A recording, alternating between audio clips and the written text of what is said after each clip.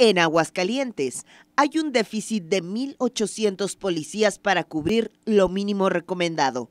Así lo aseguró la candidata a la gubernatura de la entidad por Movimiento Ciudadano, Anayeli Muñoz, al presentar sus propuestas en materia de seguridad.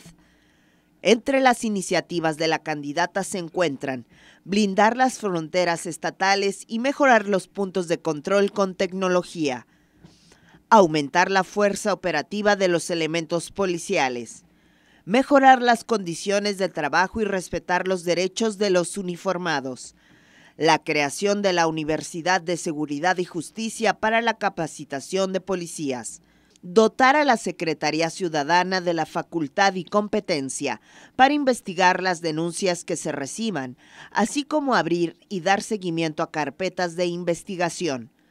habilitar a los policías para recibir denuncias, entre otras. Ana Yeli Muñoz abundó que el impacto económico de la violencia en Aguascalientes equivale a 52 mil millones de pesos, es decir, el 14% del PIB estatal por lo que la propuesta contempla una estrategia con base en la inteligencia en las políticas de prevención y control del delito como mapas interactivos de actividad delictiva, encuestas anuales de victimización, delimitar el Estado en cuadrantes para definir recursos con base en el índice delictivo y programas de prevención del delito. Con edición de Betty Torres, Fernanda Granados, Quiero Noticias.